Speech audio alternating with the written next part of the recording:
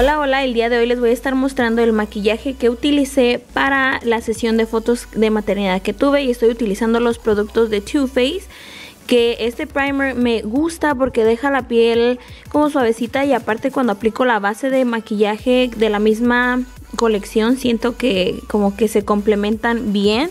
Estoy utilizando el tono warm nude y me gusta eh, para ser sincera me gusta demasiado esta base. Me dura por bastantes horas y es muy fácil de difuminarla y aparte tiene muy buena cobertura así que voy a estar aplicando en todo mi rostro y difuminándola con una esponjita de estas que siempre me preguntan y las compro en Walmart son de la marca Salon Perfect y como ven tiene muy muy buena cobertura no deja la piel tan seca a pesar de que se supone que es mate esta base. A mí me gusta en lo personal, entonces se las recomiendo.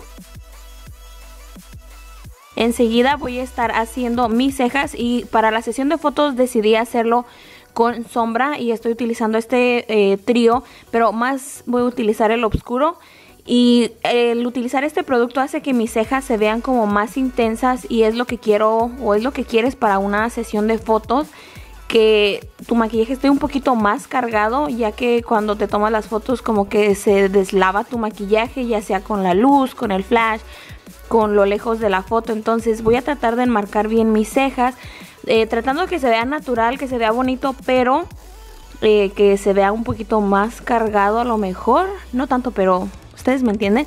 Y este polvo me gusta porque, no sé, creo que es el color, me gusta mucho. Voy a hacer la otra ceja y voy a limpiar con un poco de corrector y este corrector es de Maybelline y tratando de limpiar perfectamente la parte de abajo para que se vean bien derechitas las cejas o tratando de emparejarlas.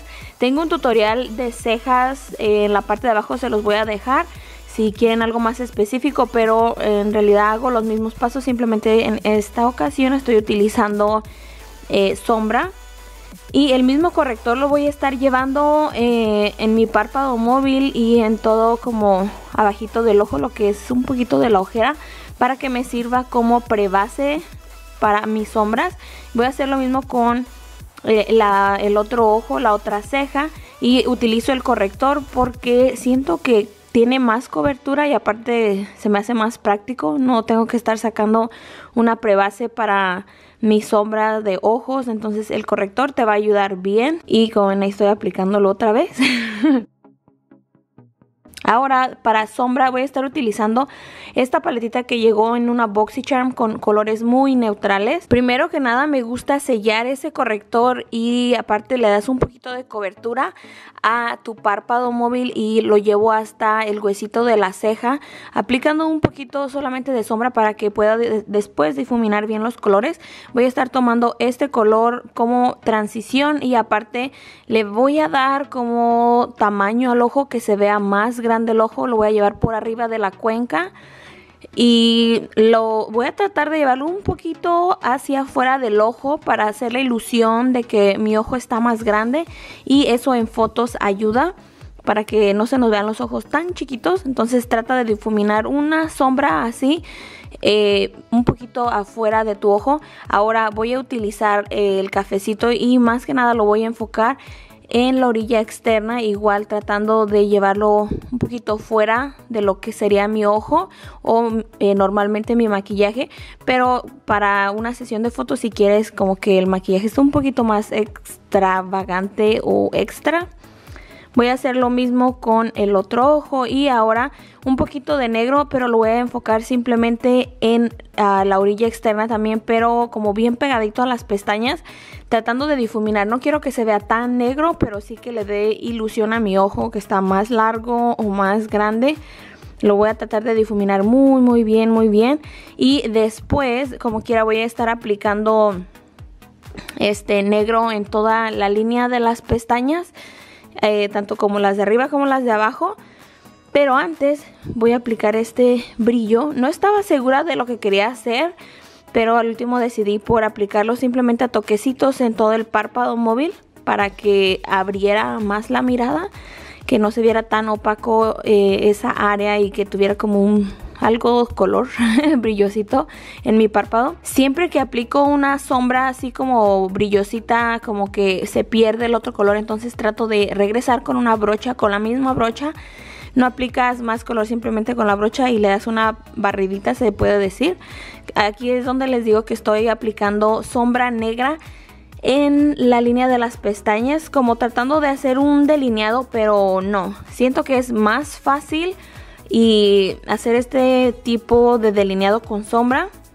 Más fácil que un delineado con un delineador líquido aparte que este delineado se ve más suave no se ve tan marcado el ojo no sé creo que me gusta más. Y he, he, tratado este maquillaje con novias y se ve muy bonito entonces les recomiendo intentar este tipo de delineados.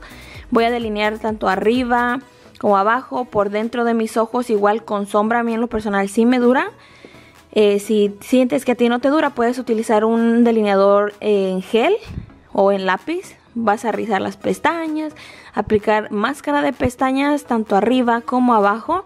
Pero yo siempre eh, la máscara de pestañas inferior la aplico hasta después, la mayoría del tiempo. Voy a tratar de corregir mis ojeras con este corrector de Tarte. En la caja de descripción les voy a dejar los tonos y los nombres de todos los productos que estoy utilizando para que sea más fácil para ustedes. Ya después que corregí, me gusta aplicar este polvo del centro que siento que le da muchísima cobertura y sella bien, sella bien esa área del ojo y aparte que le da como muchísimo color. Eh, no mejor que ni un polvo translúcido. Creo que este tono me lo voy a terminar bien rápido porque siempre lo estoy usando. Y para el resto de la cara voy a sellar con esta base que es de MAC. Pero casi lo utilizo como para darle un poquito extra de cobertura, aunque en ocasiones no lo necesito. Pero como quiera hace que mi base dure por más y más y más y más horas. Me gusta mucho, entonces nada más una barridita.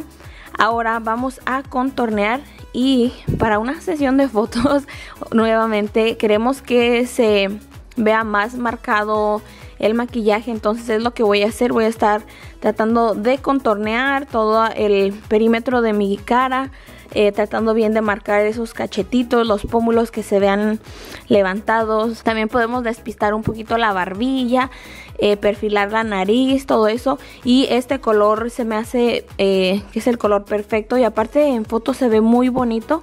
Es el que he estado utilizando ya por bastante tiempo. Es de Kat Von D y me gusta mucho ese color. Como ven, se ve bien, se ve bronceadito, no se ve naranja.